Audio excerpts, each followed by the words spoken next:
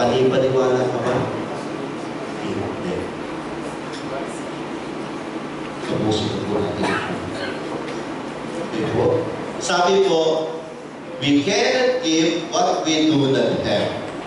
Ang pagiging, ang unity po ay nagsisimula po muna sa ating sarili. Yeah. Oo, marami na, iba't iba na nga tayo, di ba? Eh, iba't iba tayo. Pero at least we find first that unity in ourselves. In ourselves. Okay? In ourselves. Tignan po natin how to achieve unity amidst diversity. How to achieve unity amidst diversity. Ah, masarap ng merienda. First is this. I copied this very, very idea to Karen Rubin. And in his writing, in her writings, okay, ay kaya Rubin po ito ha, hindi ko lang po naisulat. Okay. Sabi po niya, first, God must be the reason of our vocation to love and serve as Catholics. God is the sole reason why we why we are in Catholics. Huwag niyo pong ibabase ang inyong pagtugon sa pagiging katikista dahil kay Father, dahil nag-invite si Father, dahil may kasama kayo ng katikista, dahil ang misyon, dahil maganda ang benefits, wala namang benefits nga pala.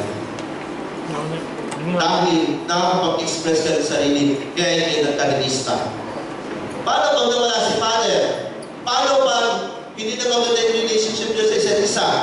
Paano kung wala na benefits? Will you remain as catechist? Kung yun ang inyong Tama. motive at hindi ang Diyos, you will say this very words. I, Messiah. Ang Diyos, let me redirect each one of you. Naglilingkod tayo sa pagiging katikista dahil sa Diyos. And I will repeat to you emphatically, naglilingkod tayo sa simbahan bilang katikista dahil ang very, very reason natin ay mahal natin ang Diyos. Kaya nga, along the way, ano man ang maranasan natin, ano mang hirap ang pagdaanan natin, ano mang pagkakasundo, mayroon ang bawat isa, ano mang hindi pinagkasunduan, mananatili ka pa rin kaligista dahil sa Diyos. Amen?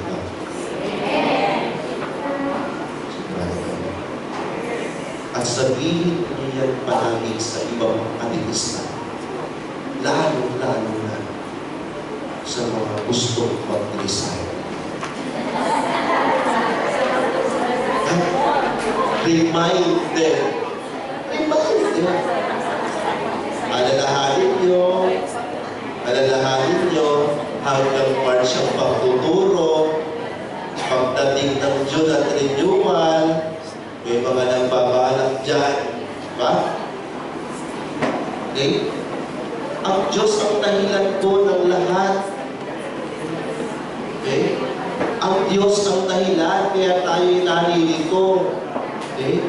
Ang Diyos ang dahilan. Ang Diyos ang dahilan. Okay? But the second is this, the second idea that I took from the writings of Gary Lee, the founder of Popolare Movement.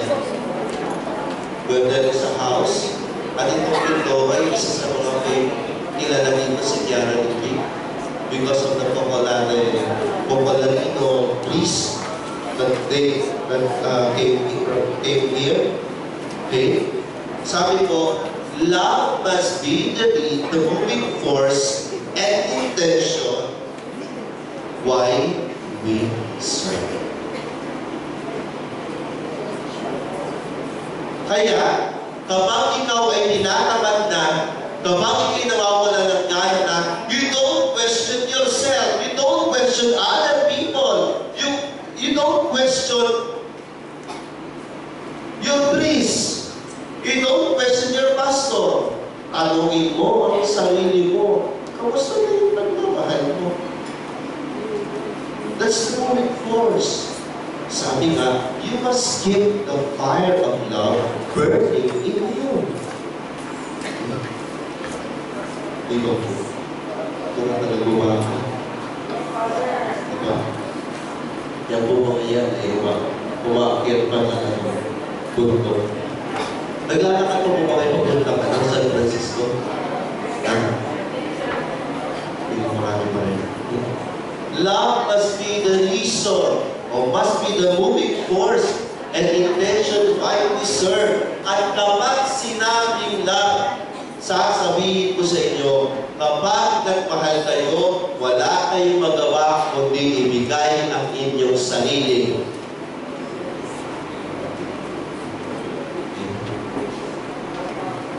Pagbili, ibibigay ka ng sarili. Dahil nagmamahal ka, magbibigay ka pa rin ng sarili. Dahil nahihirap, kahit nahihirapan ka, magbibigay ka ng sarili. Okay?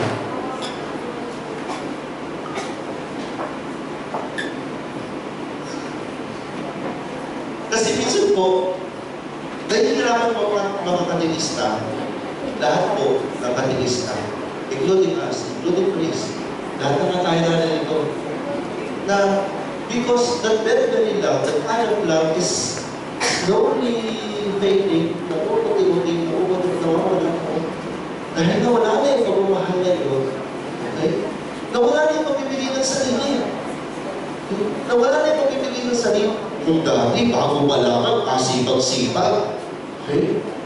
Di ba? Kung kailangan mo buhat ng, ng timba, magdadala ng timba. Di ba?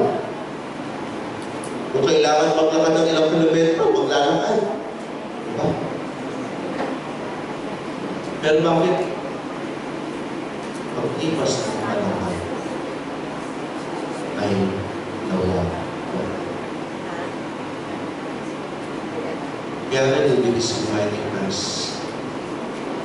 only. Now.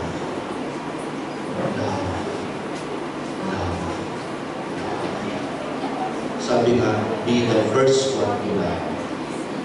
Be ready to love. Love while you are doing sacrifice. Okay? Yan ang moving force po natin. Huwag niyo po mawawala niya pag-ibig na yan. Ano? Huwag niyo mawawala niya pag-ibig na yan. Kasi yan ang, at ang pag-ibig na yan, ay yan yung pagbibigay mo ng sarili. Okay? Pag nagbibigay ka ng sarili, hindi naman sa sinasabi natin, hindi tayo humingi ng kapalit, kundi nagbi- the, the very fact is, nagbibigay ka ng sarili. At yun ang bukasyon natin. Ano? But the third thing is this, sabi nga, the third is, service must be the fruit of our vocation to God.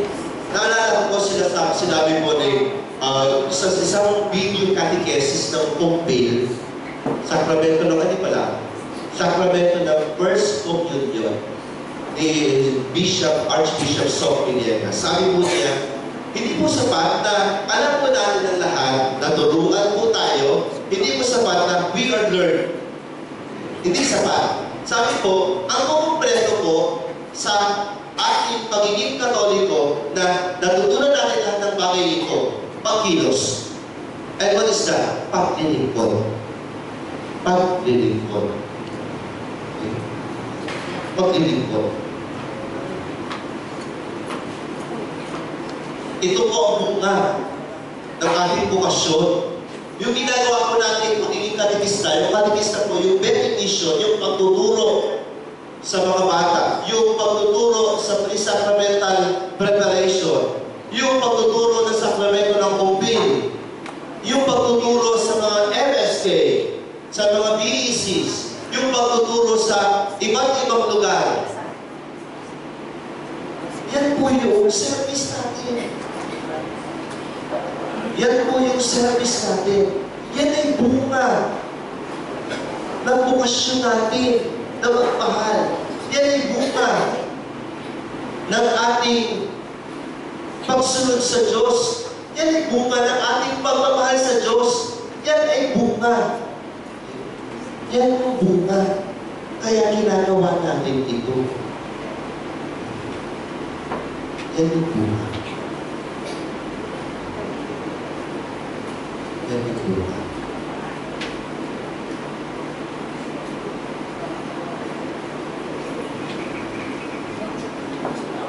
Ang ating content ay ito.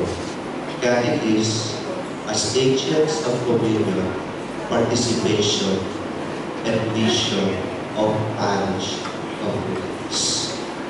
In all, in this very, very beautiful thing for our uh, gathering that started yesterday until tomorrow, ay nagpapaalala po sa atin ng ating kinabibilangan bilang agents. And that is our parishes. Our parish communities. As catechists, we are agents of communion, which means we must be instrument. Not only instrument, we must bring unity in our communities.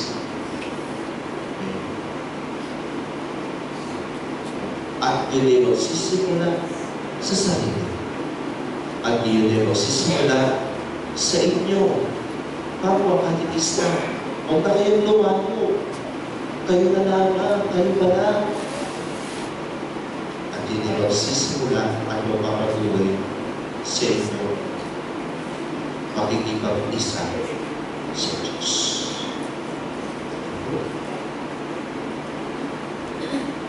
Okay po po kayo. Kaya po sa hapon ito, ito po ipinapaalala sa atin. Okay?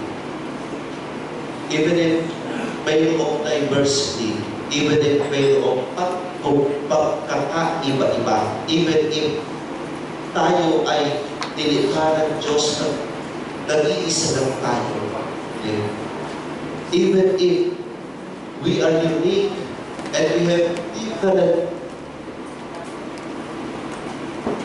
We have differences. Still, unity is possible. Unity is possible. And it starts from this is the nagsisimulan